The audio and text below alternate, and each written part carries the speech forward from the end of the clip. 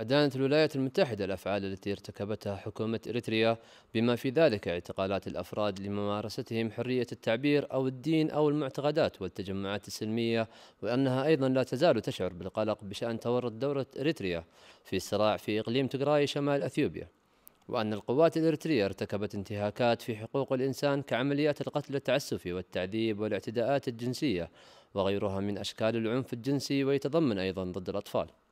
وهذا يأتي بعد تقرير من المقرر الخاص للأمم المتحدة عن أوضاع حقوق الإنسان في إريتريا